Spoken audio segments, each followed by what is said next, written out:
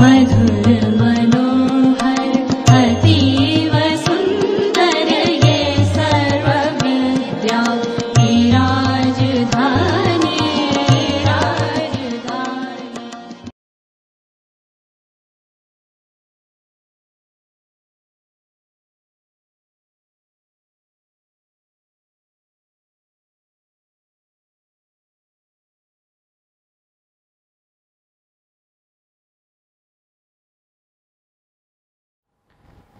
Well, my dear students, this is now second lecture in the series of extrusion as the part of uh, course of uh, technology of metal forming.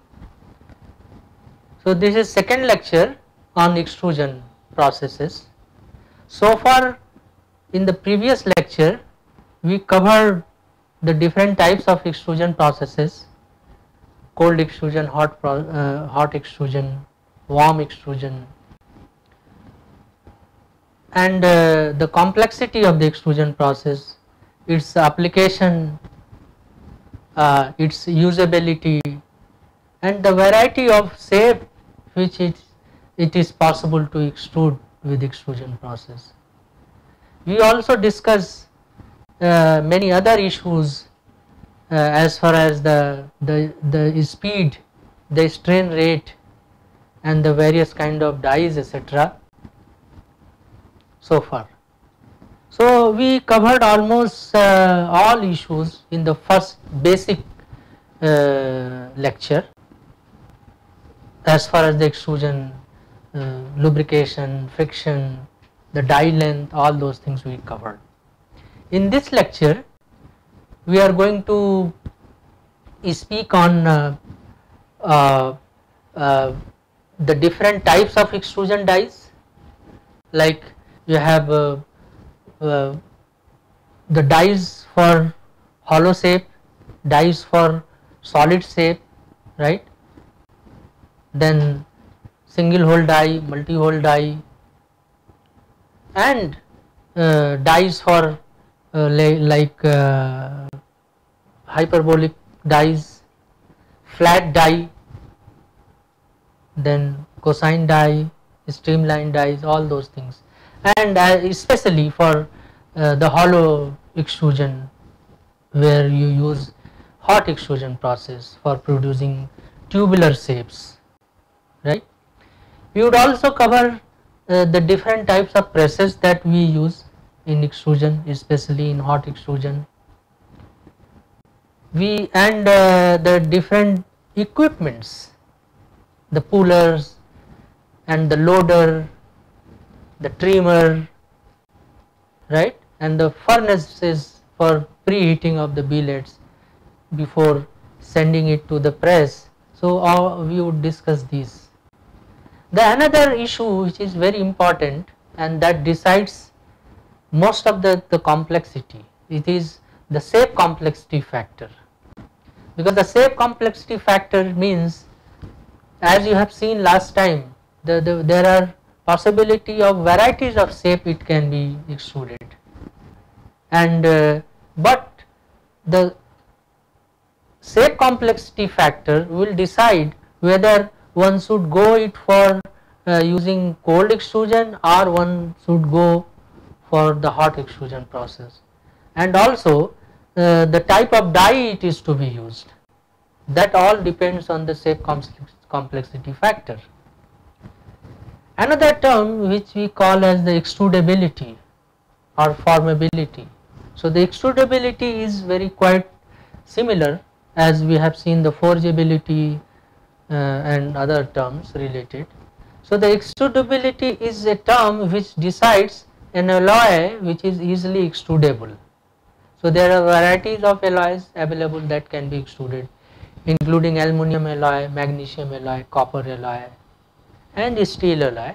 So, the extrudability is very important issue. So, that we would cover and and then we would see how uh, one can select the different types of uh, material and the related process extrusion process. The another very important issue while we extrude material or any forming process as I said that it has to be produced without any defects. So the chances are there when we do not choose a proper die length, when we do not choose a proper bearing and when we do not choose a proper speed or uh, uh, strain rate for extruding that may cause different kinds of defects. So we would discuss the varieties of uh, uh, uh, extrusion defects and remedies for that. What one has to avoid so that you do not come across any kind of defects, right? So starting with this uh, small brief, we would now start with. Now let us see this uh, slide where it shows the extrusion case usually cold extrusion and uh, this shows the a die which is a proper good die and a another die which is not a proper die or bad the shape suppose the purpose is not going to lose of the section. So this this shape is redesigned so that it is easily extruded is the given at the bottom. That's the upper one is the poor design and the lower one it is the good design where you have now see you have now balanced wards you have more balanced die tonnage and uh, without any sharp corners and uh, then you have adequate balanced wall thickness as well okay and this extrusion is easy to extrude it will use uh, better filling, better microstructure as well and better mechanical properties as well.